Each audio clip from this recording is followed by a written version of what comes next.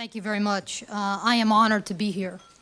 Um, You know, it takes a special person to want to dedicate their lives for helping uh, medically fragile children, the disabled, and the elderly. And so um, when I joined the legislature and Bayada came knocking on my door, uh, you had me from hello. Um, And I can tell you that my life changed the day that I walked into a home and met Christina and Carly. Um, Christina took her a little while to open up. She was a little quiet and shy. Let me tell you, she had me the minute the door opened.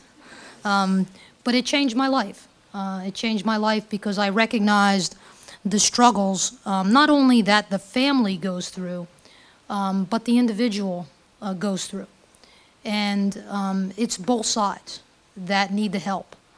And you should all be very proud of yourselves uh, for what you've done uh, over the course of your careers, uh, not only for the families, but for the patients uh, that you've served. Uh, to the other honorees, to Mark, um, congratulations. Your pioneering vision 40-plus years ago was amazing, um, because today, you're right, this is the direction that I do believe we'll be going. Uh, to my other honorees, uh, Assemblyman Benson and Assemblywoman Murphy, you know, uh, we don't get done what we do alone in a vacuum. And uh, we have to do it on a bipartisan basis. And, um, and I couldn't think of two other uh, better legislators to be able to work for on issues like this um, to help get things done.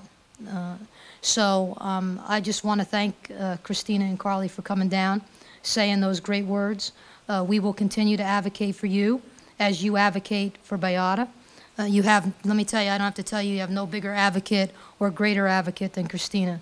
Um, and she's starting a new business. Do you think it's going to be successful? Come on.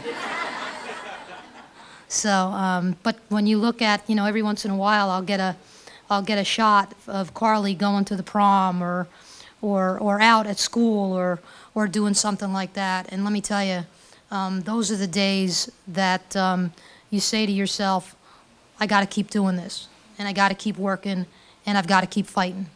And, um, and I thank you for giving me that energy and the honor to get to know you. Um, so thank you all. This is a great honor for me, but really I'm just doing my job. So thank you and God bless you.